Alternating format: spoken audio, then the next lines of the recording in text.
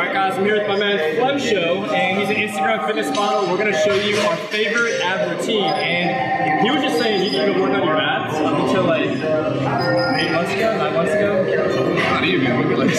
Months ago. I have to be in the kitchen. I'm a big fan of weighted ab movements. I think that once you're relatively lean, if you just build those blocky abs, you get to like 10% body fat, you're gonna look crazy aesthetic, like you know what Lazar Abraham is. Like, you know, he just has those blocky aesthetic abs. I'm gonna show you my favorite ab routine. He's gonna show you his favorite ab routine. You ain't got no gains. You ain't lift no weights.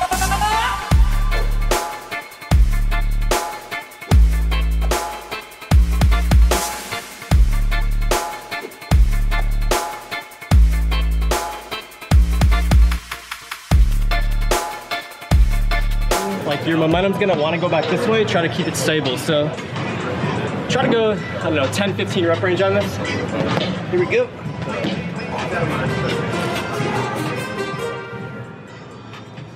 Too many thoughts on my mind, I can't sleep at night, so I just keep writing.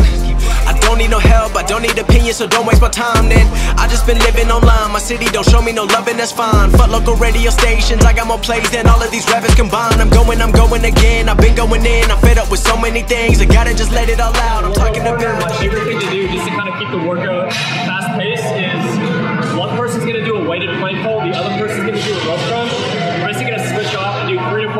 in between your workouts. So, so the goal with this one, um, start off with like a plate on each, plate on your back.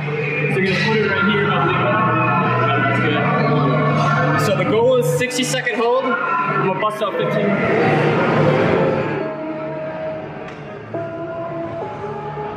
I put the team on my back. I do it all for the family. A Sunday. They think they can make it in one day. I just been ready to take off. Waiting my turn on the runway. Never be turning around. Never be turning around. Ayy. Never be So this is, uh, just make sure you don't land on your head. So you want to wrap your legs around. Get a little bleak. I like it. Good man. Alright guys, so I love working with those legs, getting torn up. I found one of my best exercises for this to be grabbing onto a cable, taking the handle off, facing forward, and kind of crunching to the side here, tucking up as deep as you can. Exhaling as you crunch, squeeze, come up nice and slow, repeat. That's why it's so good to work out with other people. I've never done this exercise in my life. I've been in the gym for like 10 years. it's good though, you feel right here. Abs and calves are like slow twitch dominant. So they respond better to like 15 to 20 rep range. Where like the thighs, tries, and chest are more fast twitch dominant. So if you want to grow those, it's like, you know, 8 to 10 reps of failure, more intensity. Yeah.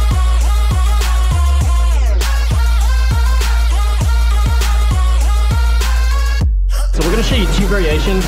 I'm sure you guys have this at your gym. We're here at the Mecca Bodybuilding. They got a bunch of crazy contraptions here. So they got this little roll-up machine for abs as well. So we're gonna show you both variations. And uh, the main thing is, try to tense your abs before you start the movement so you keep a, you don't like dip your lower back. I put the team on my back. I do it all for the family. Everyone think they can rap. Nobody ever gon' challenge me. Starting my week on a Sunday. They think they can make it in one day. I just been ready to take off. Waiting my turn on the runway. Never be turning around.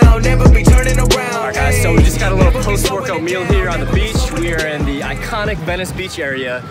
And obviously we showed you our favorite ab exercises in this video, but if you don't have at least 10, 11% body fat, all those ab exercises aren't gonna mean anything. So I am six foot, 195-ish pounds. So when I shred, I am at about 200 grams of protein, about 300 grams of carbs, and about 55 grams of fat. So I really make sure that I don't drop the carbs too low, because I know you probably have this too, being kind of a naturally skinny like build, fast metabolism. I get really flat if I drop the carbs like to like 50 or 75. Oh, of course. So I'm yeah, I keep my boat.